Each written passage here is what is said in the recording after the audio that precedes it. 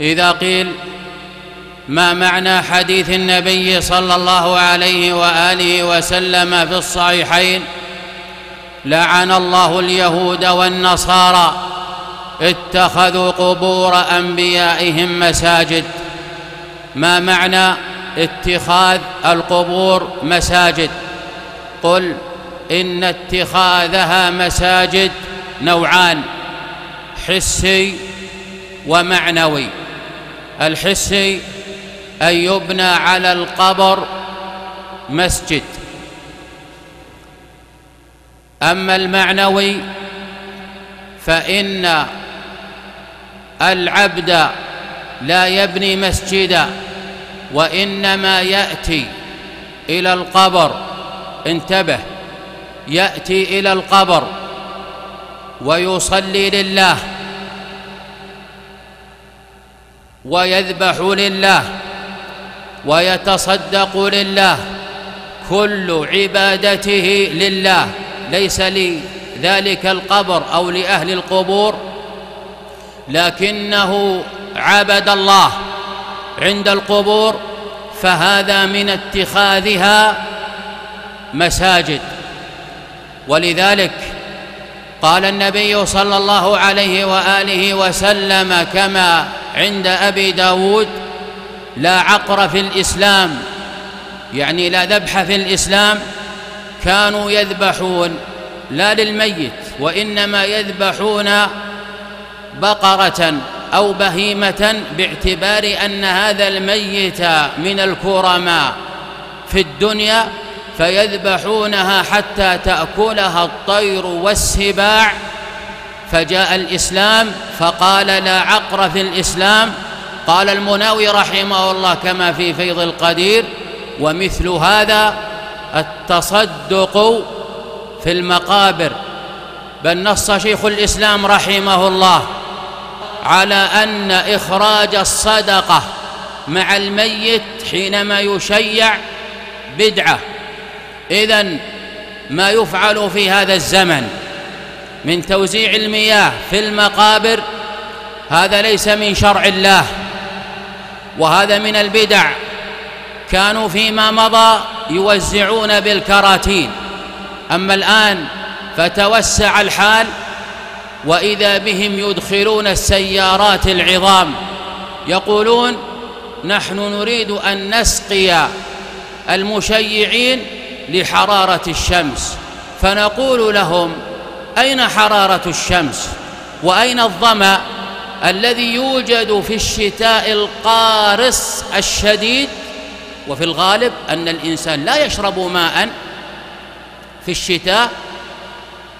فلماذا تأتون بهذه المياه في الشتاء في المقابر؟ ما أردتم إلا الصدقة والصدقة في المقابر أو أي عبادة خذها أي عبادة لم يات الشرع بها.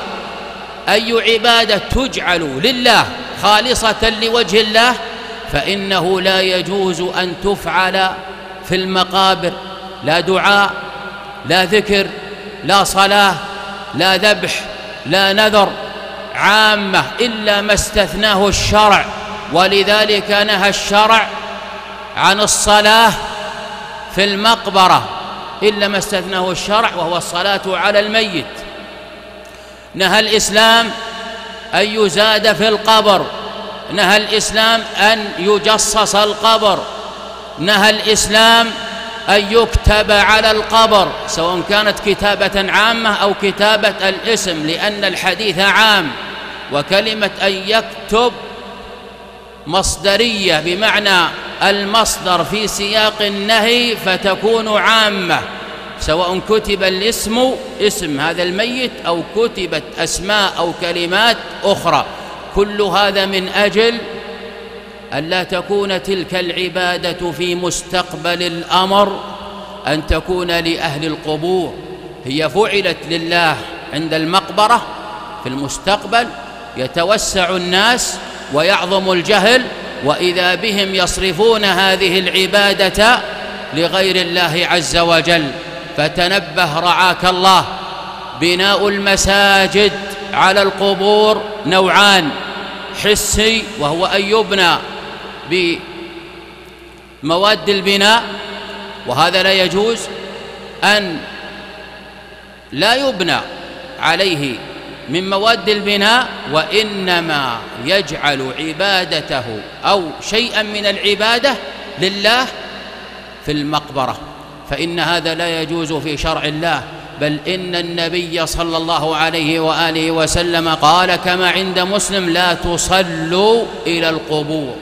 يعني لا يجوز أن تصلي والمقبرة أمامك مع أنك ما أردت بهذه الصلاة إلا وجه الله عز وجل.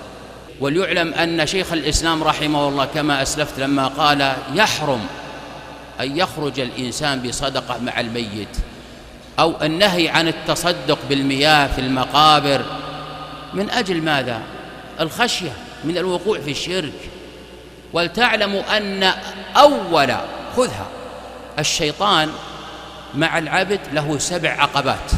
أول ما يبدأ الشيطان في إضلال بني آدم بالشرك أول ما يبدأ معه ولذلك يزينه فإن وقع في الشرك هنا سعد الشيطان إن لم يستطع الشيطان أن يوقع ابن آدم في الشرك أتى إليه بالعقبة الثانية وهي البدعة. فلربما تصدق بمياه في هذه الأزمان غدا أو بعد غد يؤتى بفواكه يؤتى بلحوم يؤتى بأطعمة يؤتى بأنواع الأشربة فالحذر الحذر.